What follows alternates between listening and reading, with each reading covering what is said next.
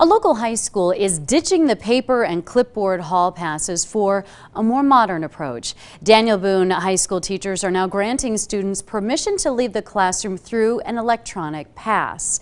So here's what students see when they first open this program. News Channel 11's Nick Dugan spoke with the principal on their reasons for the change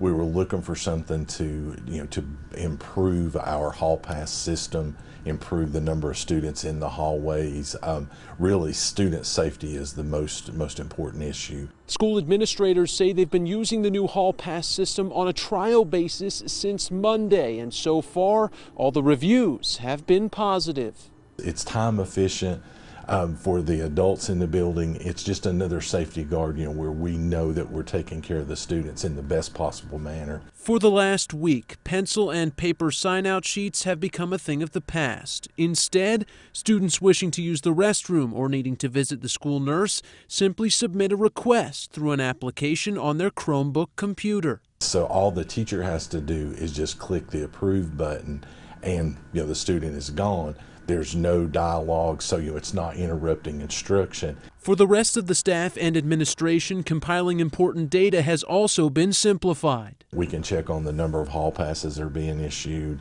Um, we can check on the teacher's response time. So, you know, it really just makes us all accountable to each other. Campbell knows there are kinks to be worked out and more evaluations to be done. This is the fifth day that we've tried it. But he believes it could be a useful tool for the school in years to come. In Gray, Nick Dugan, News Channel 11. Well, News Channel 11 has received a handful of concerns from parents about this new system. Campbell says that while he has not heard any complaints himself, he would address any that are brought to the administration in an effort to find a solution.